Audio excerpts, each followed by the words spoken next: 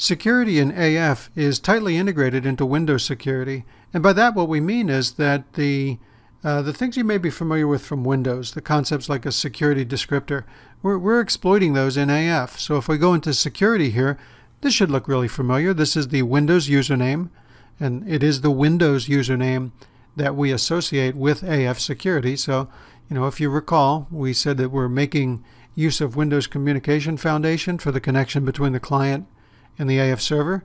So we are going to be using Windows usernames. So up here at the top, this is where we define the, uh, the user uh, for this security descriptor. And then here the actual allow, disallow, you know, actions.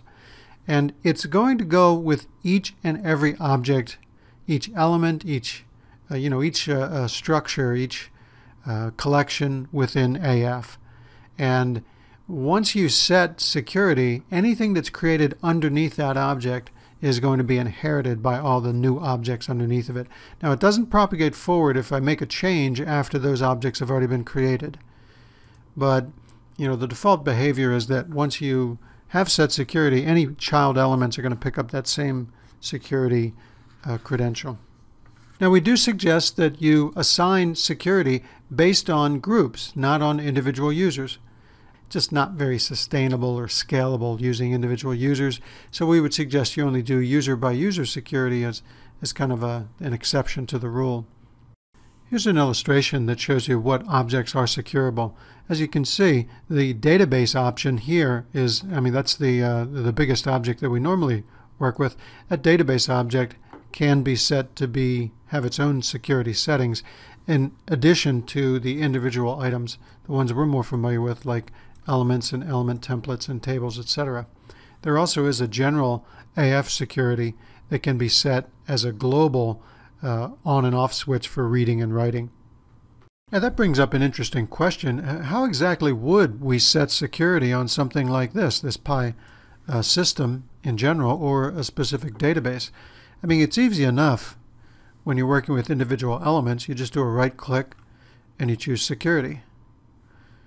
If you're working with units of measure, it's a little trickier because individual units of measure do not have a security option. But you'll notice that when you're working with units of measure, there's a little lock here. You just click on this lock icon and then you can set the security for that particular you know object, the units of measure. So yeah, it, it is a little uh, non-intuitive. How would we go about setting security for the database and for the Pi system in general? Well, that the answer to that is is in this button right here. Click on Database. It's a list of all the databases, and I can, on an individual basis, set security for the individual databases. As you can see, I can choose from that list that appears which objects I'd like to work with. And then you can also specify, if we go to the actual Pi system level, if I show the list of Pi systems, right click on them for security, and this is where we can set access to the system in general.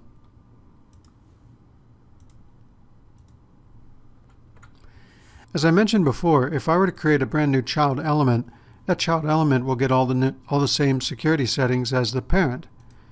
However, if I already have existing items underneath this production line one, like this mixing tank here. Well, those existing items, they already exist. I'm not creating them fresh as child elements. So what would happen if I go in here and I change the security settings for this by adding a new user? Well, it's only this object that will get that new security setting. That will not propagate forward. And we do have a mechanism to do that. If you go into the advanced setting under security, now if you were to add a new user, then go into Advanced and check this checkbox. By doing so, all the child objects are going to be given the exact same privileges as what you're currently setting. So by doing that selectively, you can change security for entire nodes within this AF structure just by selecting them and then propagating the security to all the children elements.